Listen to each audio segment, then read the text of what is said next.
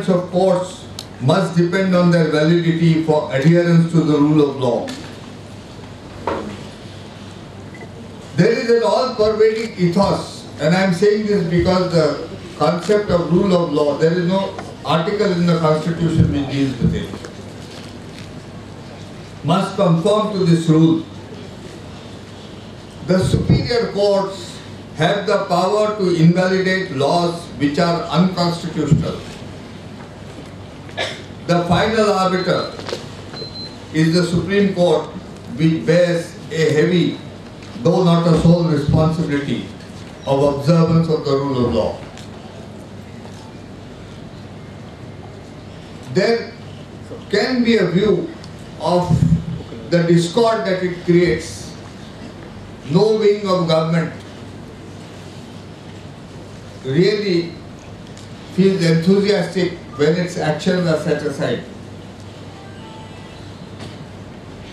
But the other day at the Constitution Day lecture, Justice Venkatachaliah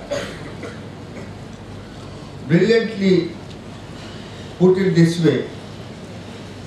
He said that a certain degree of tension between the wings of the government is healthy. Coming from him, it, one believes it is so. And probably it is that tension which keeps all the wings alive and active.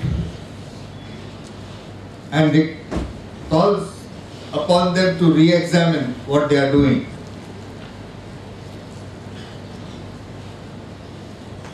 The basic scheme which ensures this is the separation of powers. That theory by Alexis de Tocqueville was been put into our constitution the, by separating the three wings.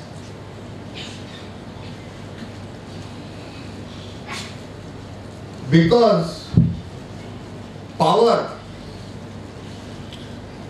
is undoubtedly an evil. It is, and it is perceived to be so since ancient times.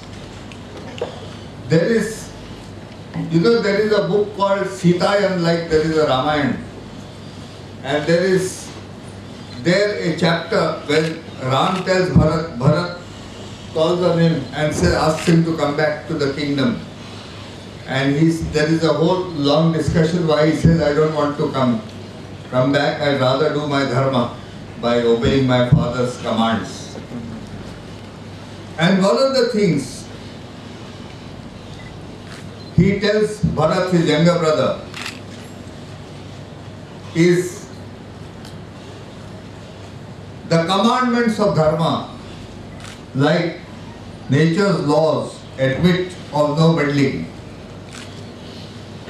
When dharma's imperatives determine legitimacy and say that this is right and thus must you act, it is wrong to look for escape routes. He says all power Bharat is like poison. We need the sovereign grace of the Lord both to exercise power and be immune from its deadly poison. In our total submission to Dharma, there is the sure promise of grace. But those that rely on power alone must perish by its poison. And this, I believe, is the reason why there are so many checks. In the first place, the separation of the wings, the several checks and balances, which we all must understand instead of looking at it immaturely as a contest between the two, between the three wings of the state.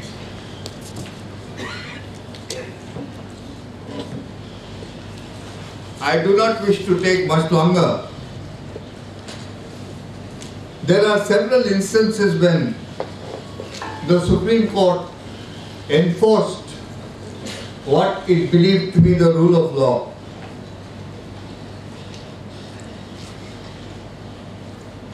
There is a direct statement of the law that the entire constitutional edifice is dependent on the absence of arbitrary power. This absence is the primary postulate of the rule of law.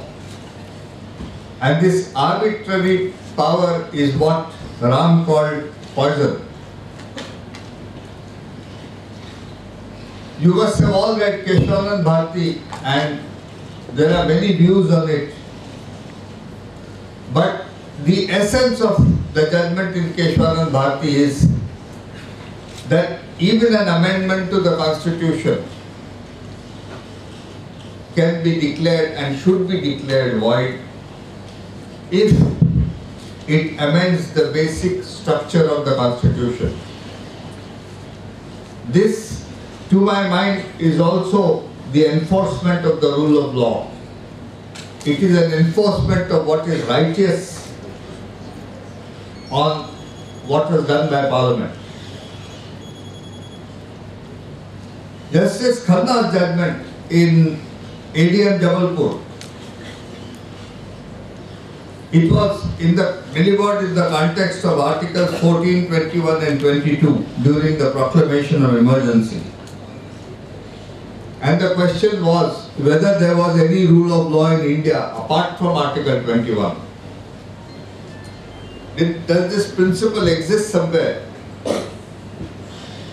I did posit earlier in the today that it exists in the hearts and minds of men.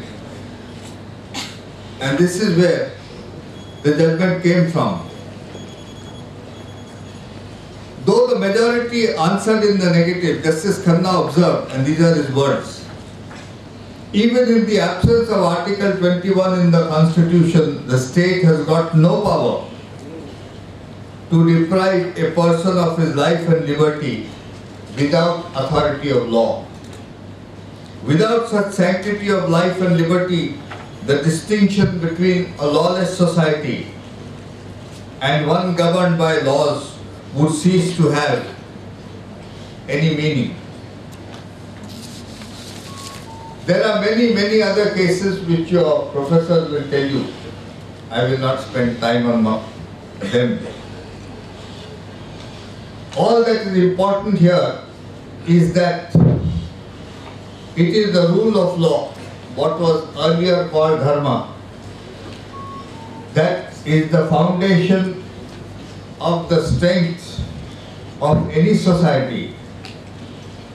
And I believe that is the reason why India is what it is today, especially when you have a look at some neighbors around the globe. And at this stage, I wish to recall a sub subsidiary rule of law that determines how long a speaker should speak and how long an audience should listen. The motto is the same, Yato Dharmas Tato Jaya. I thank you for giving me this wonderful opportunity of being at Vishakhapatnam Jai Hind.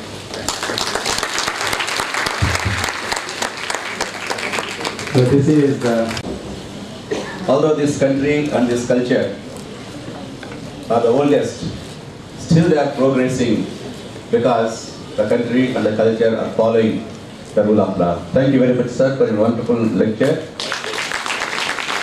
Vishnu Prasad Garu, please come on to the dais and felicitate the chiefs.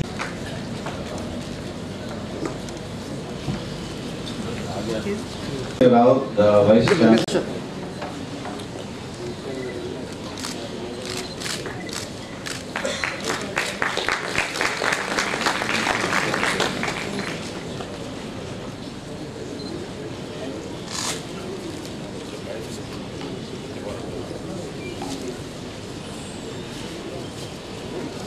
Sir,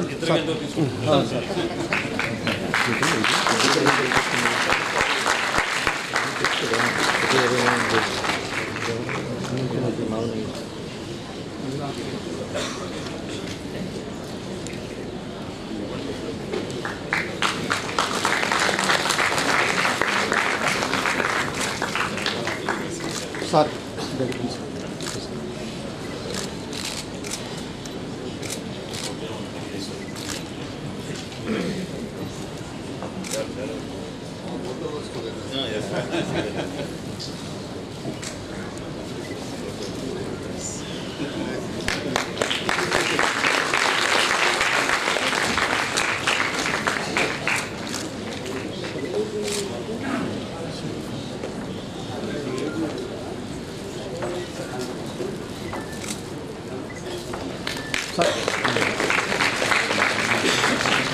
That's okay. That's okay. Okay.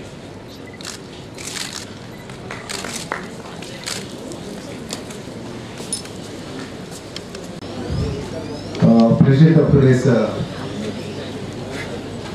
function, our esteemed Chancellor, Professor Naisler, uh, Chief Guest,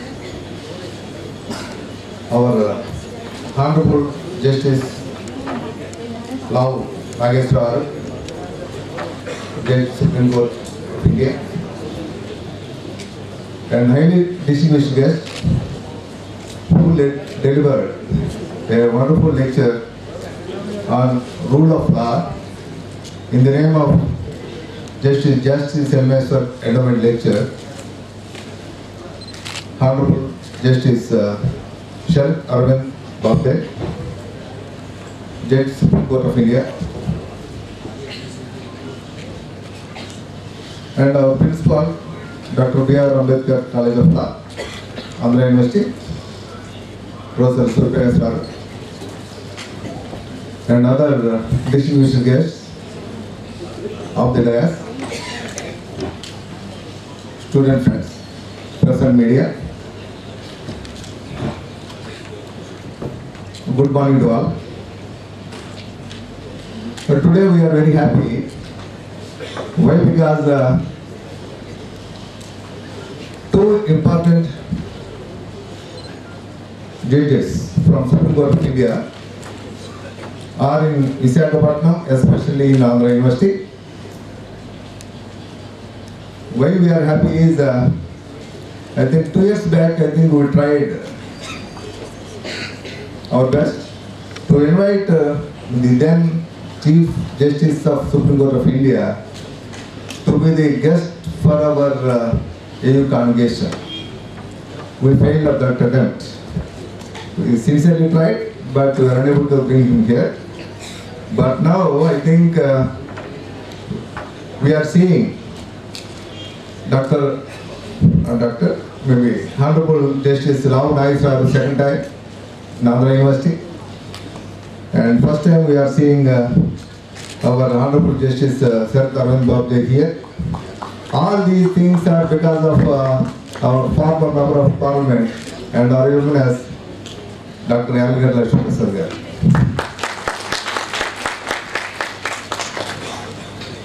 A small discussion with uh, Dr. Yalgar Lakshmi Prasad made all these things happen in this university. And because of his initiation, we have instituted uh, several endowment lectures in the name of eminent personalities, especially in the name of uh, Justice Rameshwar garu and also in the name of uh, the former Speaker of, of Lok Sabha, Indrapu Yarram Naidu. So both of them are our uh, alumnus of Dr. B.R. Ambedkar College of Law. So thereby, we are able to bring such eminent personalities which are uh, very eminent and knowledgeable persons in the field of law. That is why we are happy. I think uh, our entire uh, Council of India Visakhapatnam is happy Why? Because the, these people are coming and uh, seeing you all and we have the time to interact with them. So that's why I would like to first thank our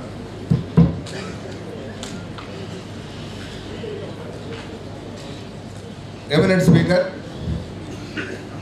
who has given a wonderful lecture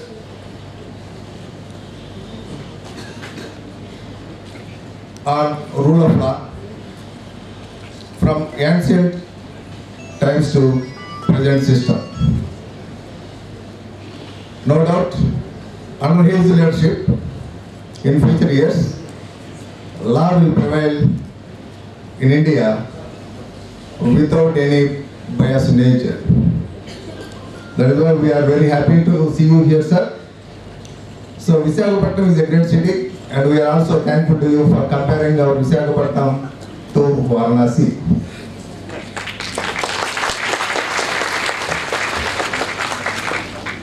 Our people are uh, very good and uh, as said by you, the rule of law prevail, prevails, prevailing in Visakhapatnam. That is why the entire uh, law fraternity is allowed to come to Visakhapatnam and meet our Visakhites. Thank you, sir, for your visit, and we are happy to listen most of your words. Thank you, sir. And also we are thankful to Honorable Justice Lau Nageswarar for visiting our Andhra University second time.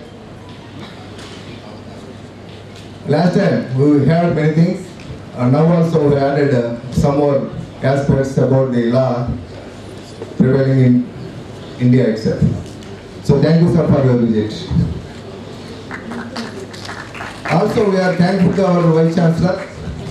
So after taking Vice Chancellorship of Andhra University, he has initiated to revive a world tradition of inviting good number of people and eminent personalities from India in different fields to give lectures in the name of uh, eminent personalities instituted by some philanthropists.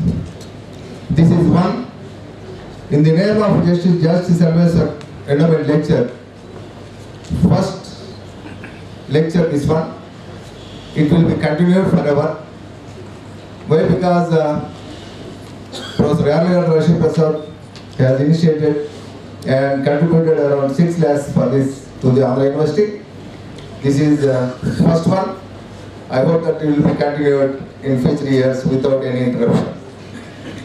So one more thing I want to mention here, why because our uh, Vice President is the proud product of our uh, Dr. B.R. Ambedkar College of uh, Law.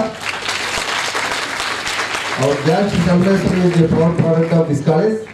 Our Kinjara Perum Garu, former Lok Sabha Speaker, is the great alumnus of this university. Not only that one, eh, our Education Minister, Sri Ganta Srinivas Rao is also alumnus of this college and he himself has given 6 lakhs check to institute an endowment lecture in the name of uh, Sri Kinjarapu Yaram Naidu. That is the greatness. One alumnus has created an endowment fund in the name of another alumnus. It is good. So with this, uh, definitely we have to thankful to all the people, especially uh, the law fraternity and our uh, Vice Chancellor, Dr. Uh, Sanjivayya Law University, Professor Kesrar, uh, Jyotirmay Garu, our uh, district judge, and uh, uh, the remaining judges from different courts of Visakhapatnam. And also, we are thankful to President, Secretary, and the entire uh, executive of uh, Bar Council of India, Visakhapatnam. And also, we are thankful to student fraternity and the other guests and press and media for participating in this event. Especially, we have to thankful to the principal, Dr. B.R. College of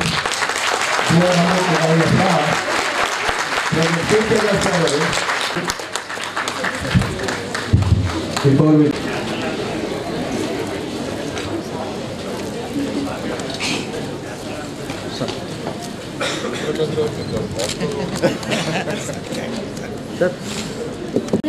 अधिनायक जय हे। भारत भाग्य विधाता। पंजाब सिंध गुजरात मराठा